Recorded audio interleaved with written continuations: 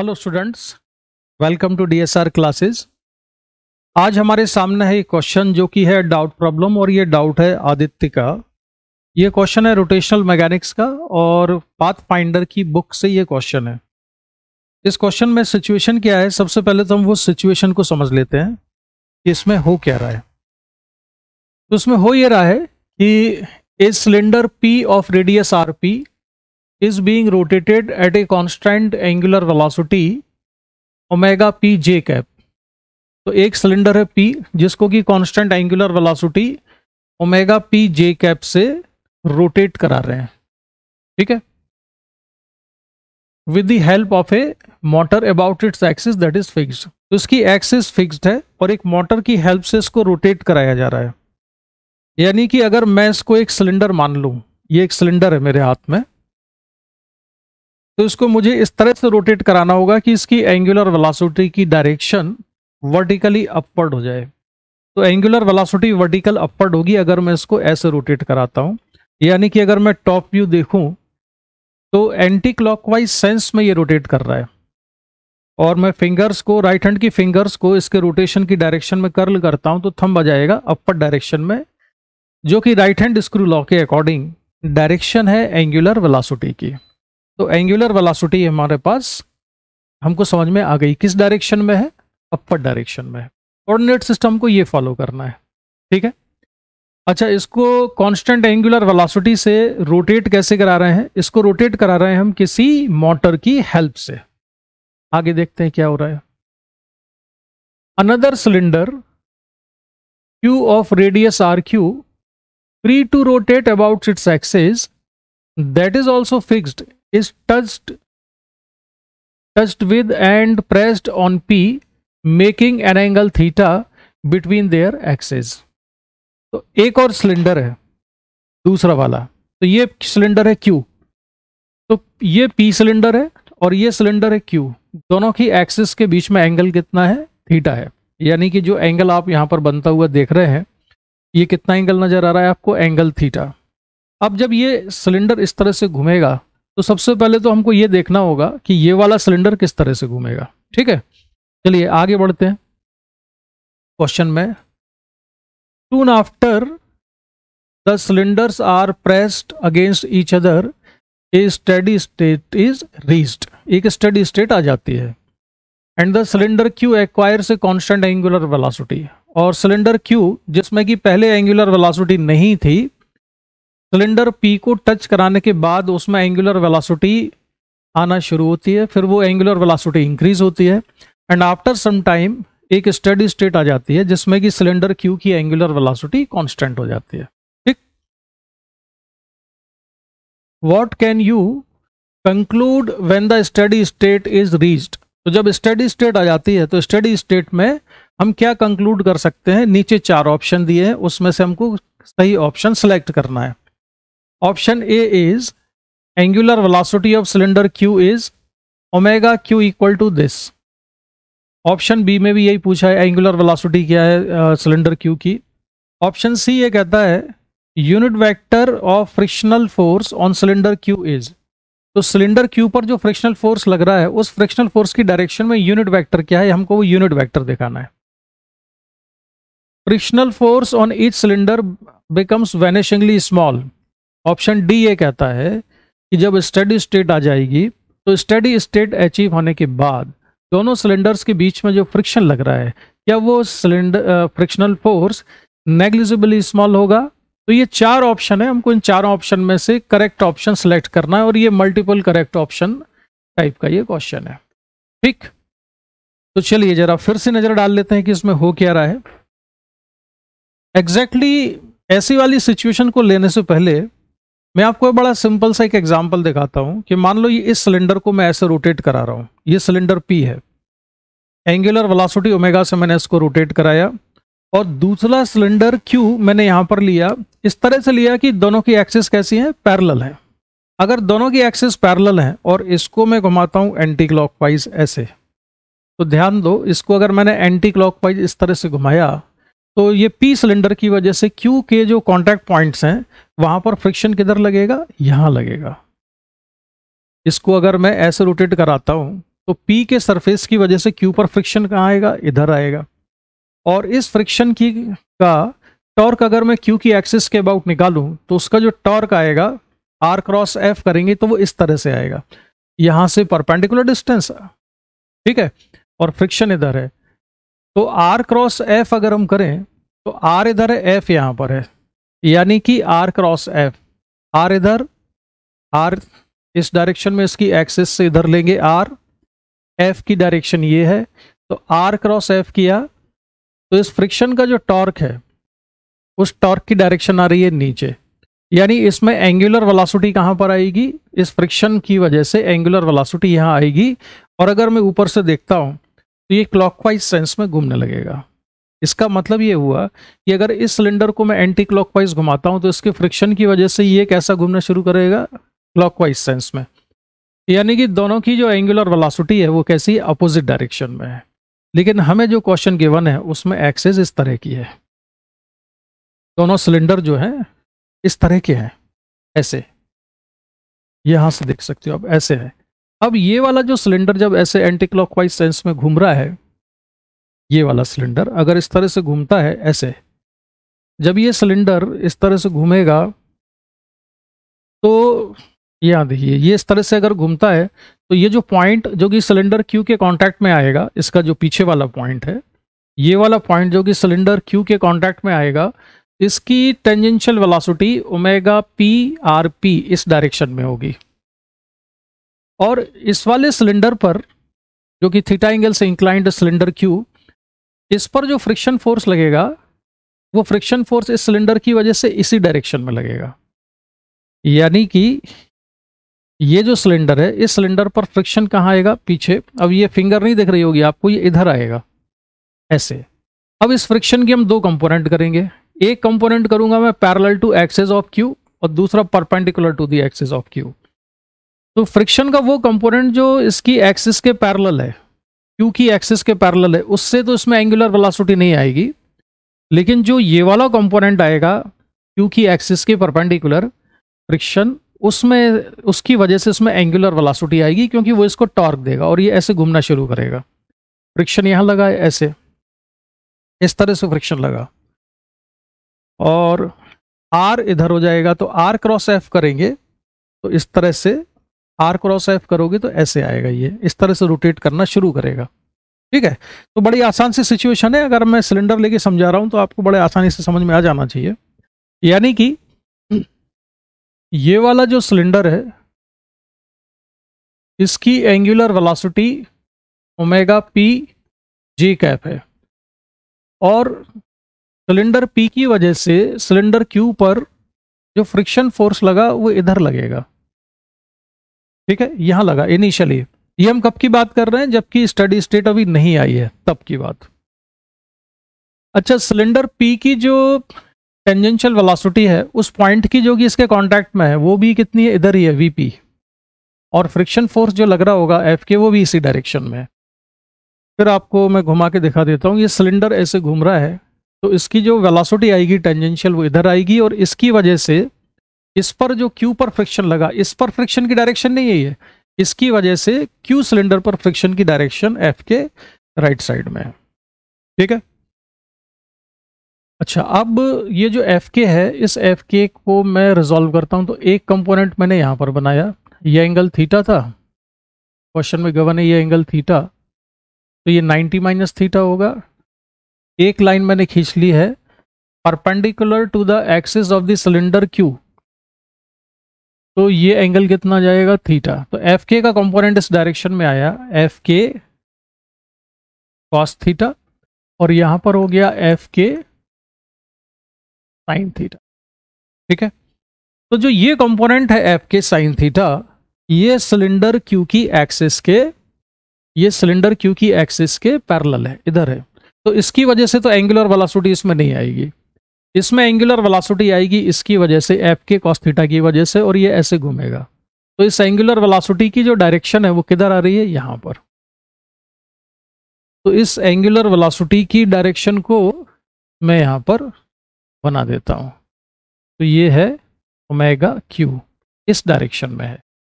अब हमसे इन्होंने ये पूछा है कि ओमेगा क्यू की डायरेक्शन में यूनिट वेक्टर क्या है? एक तो यूनिट वेक्टर निकालना है और दूसरा हमको उसका मैग्नीट्यूड भी निकालना है। ओमेगा क्यू का मैग्नीट्यूड भी चाहिए, डायरेक्शन भी चाहिए। चलिए तो देखते हैं क्या करेंगे हम इसमें। देखो, पहले जरा मैं मैग्नीट्यूड के बारे में बता दूँ। मैग्नीट्यूड आप इस तरह से देख सकते हो इसका कि ये जो वीपी वेलासिटी है टेंजेंशियल वेलासिटी पी की, इसकी वेलासिटी का एक कंपोनेंट यहाँ पर हो जाएगा। वीपी साइन थीटा और इसका एक कंपोनेंट यहाँ पर हुआ वीपी कॉस थीटा के बराबर। ठीक है? अब दूसरा देखो, ये वाला जो सिलेंडर है, ये ऐसे घूम रहा है। तो इसकी जो टेंजेंशियल वेलोसिटी आएगी, ये टेंजेंशियल वेलोसिटी होगी इसकी ओमेगा क्यू आर क्यू इसको मैं वी क्यू लिख लेता हूँ। तो V Q equal to omega Q R Q के बराबर है। उसकी डायरेक्शन भी इधर ही है। यानी वीपी कॉस थीटा और V Q V Q equal to omega Q R Q अच्छा वी पी किसके बराबर है? वी पी है ओमेगा पी आर पी के बराबर। ठीक है? वीपी है ओमेगा पी आर पी के बराबर। वी पी किस किस वजह से आ रहा है? ये जो सिलेंडर पी है, ये इस तरह से घूम रहा है। तो इस पॉइंट की टेंजेंशियल वेलोसिटी है वीपी एंगुलर वेलोसिटी इसकी कितनी है? Omega P omega P R P ये टेंजेंशियल वेलोसिटी लिखी मैंने। ठीक है? तो इतना सेटअप हमारा तैयार हो गया। अब मैं चलता हूँ जरा, बड़ा डायग्राम थोड़ा बना लेते हैं जिससे कि इसमें थोड़ी क्लैरिटी आ जाए। तो बढ़ते हैं हम आगे। ये हमने एक सिलेंडर बना लिया पी और ये कौन सा सिलेंडर है क्यू और यहाँ पर बना लेते हैं हम इसकी एक्सिस तो ये है एक्सिस मैंने ड्रॉ की क्यू की और ये एक्सिस है सिलेंडर पी की। एंगुलर वेलोसिटी तो आप देख ही चुके हैं किस डायरेक्शन में है। ये एंगुलर वेलोसिटी है omega P J cap omega P J cap और इसकी जो एंगुलर वेलोसिटी आ रही है, वो इस डायरेक्शन में थी। ठीक है? तो इसकी एंगुलर वेलोसिटी का मैग्नीट्यूड मॉडुलस कैसे निकाल सकते हैं हम? वो मैंने आपको अभी भी बताया है क्या करने वाले हैं हम। हम ये कर सकते हैं कि P की जो टेंजेंशियल वेलोसिटी थी, वो है Vp और V की, Vp की वैल्यू कितनी है? ओमेगा पी आर पी के बराबर। एक लाइन मैंने यहाँ पर खींची है, जो कि Q की एक्सिस के परपेंडिकुलर है। ये एंगल गिवन था थीटा तो ये थीटा है। एंगल तो ये एंगल भी कितना हो जाएगा? थीटा हो जाएगा। अब हम इसके कंपोनेंट कर लेते हैं। तो ये जो कंपोनेंट है, यहाँ पर आएगा वीपी कॉस थीटा और वीपी कॉस थीटा किसके बराबर है? यह है omega P R P cos theta के बराबर। इसी डायरेक्शन में सिलेंडर क्यू की टेंजेंशियल वेलोसिटी है और वो सिलेंडर क्यू की टेंजेंशियल वेलोसिटी कितनी है? ओमेगा क्यू आर क्यू के बराबर। ठीक है? इस डायरेक्शन में है। ओमेगा क्यू की डायरेक्शन कहाँ पर थी? ओमेगा क्यू की डायरेक्शन है ये वाली। इधर है। ये डायरेक्शन है। फ्रिक्शन कहाँ पर था?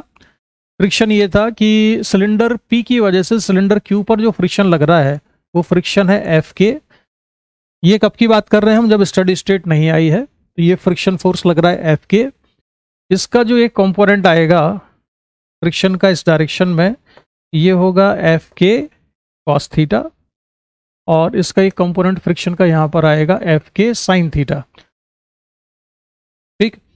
अब क्या होगा कि एंगुलर वेलोसिटी क्यू की इंक्रीज होती जाएगी।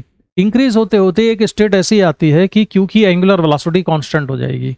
जब क्यू की एंगुलर वेलोसिटी कांस्टेंट हो जाएगी तो कांस्टेंट होने का मतलब है कि जो ओमेगा क्यू आर क्यू है और omega P R P cos theta है, ये दोनों कैसे हो जाएँगे? इक्वल हो जाएँगे। यानी कि इस डायरेक्शन में relative velocity point of contact की कितनी हो गई है? ज़ीरो तो इसको मैं लिख सकता हूँ omega Q R Q equal to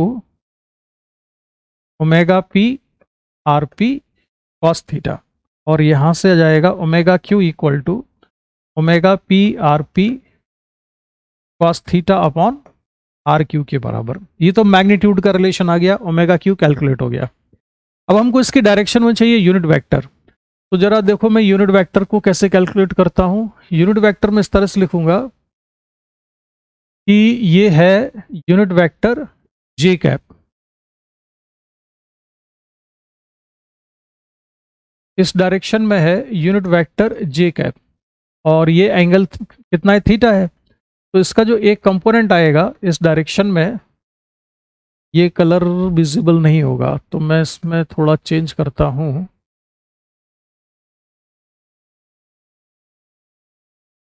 ये जो कंपोनेंट आएगा यहाँ पर, ये भी लगता है क्लियर नहीं है।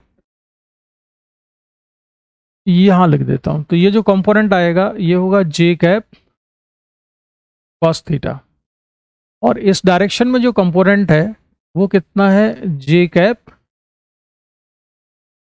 ये जे कैप है, ये है जे कैप कॉस थीटा और जो दूसरा कंपोनेंट हम लिखेंगे, मैं दूसरा कंपोनेंट यहाँ लिख देता हूँ, ऐसे। दूसरा कंपोनेंट आएगा जे कैप साइन थीटा के बराबर। ठीक है? ये है जे कैप इसका एक कंपोनेंट है यहाँ पर, एक कंपोनेंट मैंने लिया यहाँ पर। आई कैप कोऑर्डिनेट सिस्टम को किस तरह से दिया हुआ था? क्वेश्चन में ऐसा दिया हुआ है एक्स वाई तो इस डायरेक्शन में है यूनिट वेक्टर आई कैप तो आई कैप का एक कंपोनेंट इस डायरेक्शन में किया हमने। और एक कंपोनेंट आई कैप का करते हैं यहाँ पर। तो आई कैप का एक कंपोनेंट यहाँ पर आएगा आई कैप कॉस थीटा और ये एंगल यहाँ पर, इस डायरेक्शन में कंपोनेंट हो जाएगा आई कैप साइन थीटा ठीक है? तो आई कैप कॉस थीटा हो गया और यहाँ पर हो जाएगा इस डायरेक्शन में आई कैप साइन थीटा तो इस डायरेक्शन में हमको यूनिट वेक्टर मिल रहा है। देखो आई कैप साइन थीटा ये यूनिट वेक्टर नहीं है। I cap sine theta plus J cap cos theta ये यूनिट वेक्टर है किस डायरेक्शन में? इधर। इसका मॉड निकालो तो कितना आएगा? Under root sine square theta plus cos square theta यानी कि वन के बराबर। तो ये यूनिट वेक्टर है और इसकी डायरेक्शन है यहाँ पर। लेकिन एंगुलर वेलोसिटी की डायरेक्शन किधर है? एंगुलर वेलोसिटी की डायरेक्शन ओमेगा क्यू की इधर है। यानी कि ओमेगा क्यू इस यूनिट वेक्टर की अपोजिट डायरेक्शन में है। तो एंगुलर वेलोसिटी ओमेगा क्यू को हम कितना लिख सकते हैं? अब हम लिख सकते हैं omega Q equal to magnitude तो हम ऑलरेडी निकाल चुके थे। मैग्नीट्यूड ये था omega P R P omega P R P cos theta upon R Q into अब इसको हम यूनिट वेक्टर से मल्टीप्लाई करेंगे। तो यूनिट वेक्टर है I cap sine theta plus J cap cos theta. लेकिन उस यूनिट वेक्टर की अपोजिट डायरेक्शन में है एंगुलर वेलोसिटी है तो हम यहाँ पर साइन लगा देंगे नेगेटिव तो जगह कम है तो मैं थोड़ा यहाँ ओ omega Q equal to minus.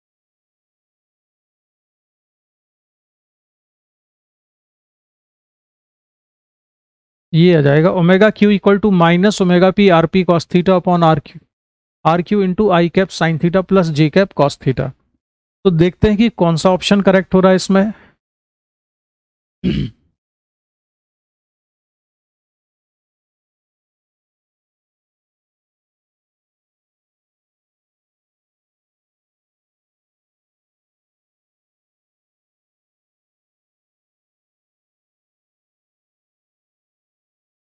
तो इसमें जो ऑप्शन करेक्ट हो रहा है, वो ये है minus omega P R P cos theta upon R Q into sine theta I cap plus cos theta J cap के बराबर।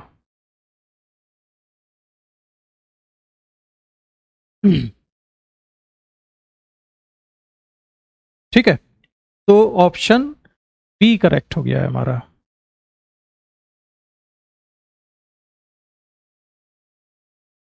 ऑप्शन बी हमारा करेक्ट है और ऑप्शन ए और बी में डिफरेंस किस चीज़ में? कॉस्थीटा का डिफरेंस है। हमारा आंसर ये आया है। अब उन्होंने पूछा unit vector of frictional force on cylinder Q is तो अब यहाँ पर देखिए फ्रिक्शन फोर्स जब स्टडी स्टेट नहीं आई थी, तब फ्रिक्शन फोर्स कितना था? एफ़ के था इस डायरेक्शन में। हमने रिजोल्व किया तो एक आया एफ़ के साइन थीटा एक कंपोनेंट आया था यहाँ पर एफ़ के कॉस थीटा के बराबर। और जब स्टडी स्टेट आ जाएगी जब इसकी एंगुलर वेलोसिटी कांस्टेंट हो जाएगी तो इस डायरेक्शन में रिलेटिव वेलोसिटी हो जाएगी ज़ीरो यानी कि इस डायरेक्शन का जो फ्रिक्शन है एफ़ के कॉस थीटा ये वैनिश हो जाएगा। लेकिन इस डायरेक्शन में जो फ्रिक्शन का कंपोनेंट है एफ़ के साइन थीटा ये हमेशा लगता रहेगा। क्योंकि ये जो वेलोसिटी है वीपी ये जो वेलोसिटी है VP omega P R P इस सिलेंडर की, ये सिलेंडर ऐसे घूम रहा है तो इसका जो यहाँ वाला कंपोनेंट है अच्छा ये पी की थी सॉरी ये सिलेंडर पी जो था, इस तरह से घूम रहा था, ऐसे घूम रहा था। तो इसकी जो वेलोसिटी आई थी, इस पॉइंट की, ये वीपी डायरेक्शन में थी। इसका जो ये वाला कंपोनेंट है, ये ये हमेशा इसको फ्रिक्शन देता रहेगा। या उल्टा भी कह सकते हैं कि इसकी वजह से जो फ्रिक्शन लगा इस वाले सिलेंडर पर राइट साइड में एफ़ के तो इसने तो इस वाले फ्रिक्शन के कंपोनेंट ने तो क्या किया? क्यू को टॉर्क दिया और रोटेट कराया। एंगुलर वेलोसिटी कांस्टेंट हो गई। तब ये फ्रिक्शन का कंपोनेंट वैनिश हो गया। लेकिन जो एक्सिस के पैरेलल फ्रिक्शन का कंपोनेंट है, यहाँ पर, इस पर, जो एक्सिस के पैरेलल लग रहा है फ्रिक्शन का कंपोनेंट इस सिलेंडर के, ये वाला जो कंपोनेंट है, ये हमेशा एग्जिस्ट करेगा। और ये इसको रोटेट भी नहीं करा सकता एंगुलर वेलोसिटी भी नहीं देख सकता। एंगुलर वेलोसिटी किसने दी है? इस वाले कंपोनेंट ने। तो फाइनली स्टेट स्टडी स्टेट आने पर फ्रिक्शन फोर्स इस डायरेक्शन में लगता रहेगा एफ़ के साइन थीटा और फ्रिक्शन फोर्स की डायरेक्शन में यूनिट वेक्टर कौन सा होगा? यही वाला जो ऑलरेडी हमने पहले निकाल लिया था। ये वाला यूनिट वेक्टर हम निकाल चुके थे। इस डायरेक्शन में यूनिट वेक्टर इस एक्सिस के अलाउंग कितना है? I cap sine theta plus J cap cos theta ये यूनिट वेक्टर है along the axis of cylinder Q और सिलेंडर क्यू की एक्सिस के डायरेक्शन में फ्रिक्शन फोर्स की की डायरेक्शन में ये यूनिट वेक्टर है। तो ये ऑप्शन भी करेक्ट हो जाता है। कौन सा unit vector of frictional force on the cylinder Q is sine theta I cap plus cos theta J cap तो ये भी करेक्ट हो गया। तो ये आंसर सही है। ए तो गलत ही हो गया। ए और बी में से एक ही सही हो सकता है। बी सही है ए गलत है। डी ऑप्शन क्या कहता है? Frictional force on each cylinder becomes vanishingly small यानी कि स्टडी स्टेट आने के बाद क्या फ्रिक्शन फोर्स ऑलमोस्ट ज़ीरो हो जाएगा? तो नहीं होगा। क्यों नहीं होगा? क्योंकि फ्रिक्शन फोर्स का जो ये वाला कंपोनेंट है एफ़ के साइन थीटा ये स्टडी स्टेट आने के बाद भी लगता रहेगा। तो डी ऑप्शन भी करेक्ट नहीं है। तो D is also not correct तो फाइनली इस क्वेश्चन के दो ऑप्शन करेक्ट हैं। कौन कौन से ऑप्शन करेक्ट हैं? एक ऑप्शन है बी और एक ऑप्शन है डी ठीक है? तो आदित्य तो मुझे लगता है कि इस क्वेश्चन को काफ़ी डिटेल में मैंने डिस्कस कर दिया है तो तुम्हारा जो डाउट है वो क्लियर हो चुका होगा। और इस क्वेश्चन में सबसे इंपॉर्टेंट पार्ट ये है कि क्वेश्चन की लैंग्वेज से एग्जैक्टली exactly समझ में नहीं आता है कि सिलेंडर को किस तरह से क्यू सिलेंडर को किस तरह से सिलेंडर पी के साथ प्रेस किया गया है टच कराया है और फिर प्रेस किया हुआ है? एनीवे anyway, इसके बाद भी अगर कोई डाउट रहता है तो आप मुझको मैसेज कर सकते हो। मेरा जो व्हाट्सएप नंबर है वो डिस्क्रिप्शन में होता है। जैसे ही मुझे टाइम मिलेगा तो मैं डाउट्स लेके आपके सामने आ जाऊँगा। आज इसका डिस्कशन मैं यहीं पर कंप्लीट करता हूँ। Thanks for watching bye bye